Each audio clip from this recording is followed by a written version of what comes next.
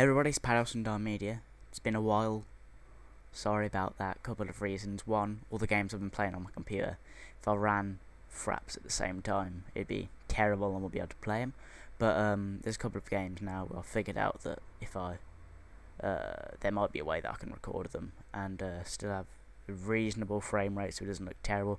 Like right now, this is only 5 FPS, but there's not a lot of motion going to be doing in this. But um, you may be wondering why I've got all that stuff in my inventory and wand flax. Well, you being people of the internet, as, as I shall now refer to you, people of the internet, you will know of the term LEET 1337. If we have a quick look here at my total, at my stats page, my total level is 1336. I have 7 XP to go in crafting to level up. Flax is 15, so click that when it responds. there we go.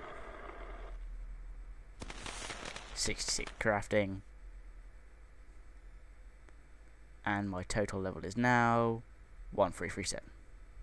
Therefore, I win the game and I just clicked the wrong skill. Look at all that wonderful stuff that I don't care about. Anyway, the reason for the rest of the stuff in my inventory is, since it's been so long, do a quick bank check, little comparison.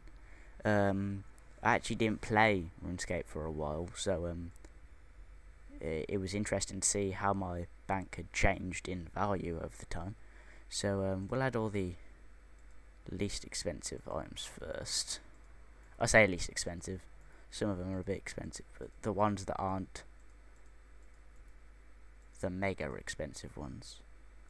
Mega for me, of course. All you crazy people with your party hats and your torva. You can all you can all keep those. I'm all about the um the lobsters.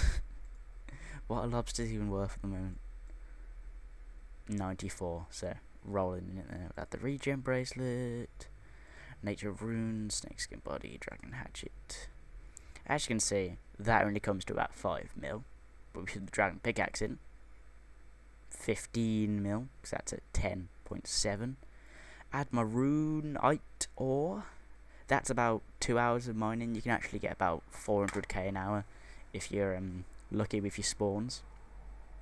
So that's 16 mil. And then, of course, my 96k gold ore, which I'm getting from mining which we'll get to that in a second. I'll just put it in here for you. Um, 36 mil. Pretty sure that's the most money I've ever had on RuneScape. Uh, that 20 mil stack of gold is the most expensive item I've ever owned. Formerly it was the Dragon Pickaxe. And then behind that would have been the Bandos Godsword, which I, I bought it about three days before it crashed because now we all know it's at 6 mil. So I bought it for 12.01, sold it for 12.1 in the same day because I was having to go flipping, but only made uh, 900k, which isn't, it's not bad, but. Um, and then literally, I said to my friend, "Buy it." He's he's got mega stats anyway, so I told him to buy it. He's he's good at combat, and um, he bought it. And then literally the next day, dropped about eight mil. Said, "Hold on to it, hold on to it." And when it dropped to 7 mil, he sold his. Then at one point it went down to like 4.9, and he bought it again. Now it's gone up to 6, but since then he's moved on to bigger and better things. I think he's got an SGS now, Saradomin in Godsword. But anyway, that's my bank there. 36.39 free for free. And onto the mining, as we can see, as you may have noticed when I was on the stats page here, it's at 95 with 3.7 mil XP to go, which is about 500,000, no, not 500,000 gold ore, that'd be ridiculous. 50,000 gold ore, which is about 10 mil. So, there's another 10 mil on top of that, and then I'll keep making more money after that. But the only problem is, mining's really boring. it's laggy down the Living Rock Caverns. Uh, it's not like you click it and then it's like 10 minutes later you come back to it. It's click it and about 30 seconds later you come back to it so you can't really do a lot in the AFK window you have there. But um, I'm, I'm really gonna try. I really want to um get it done because I kind of want to do some combat and get my stats up to 70.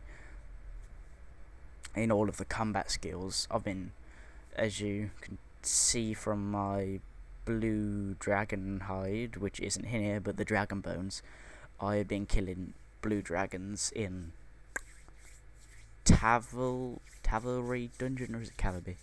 I can't remember.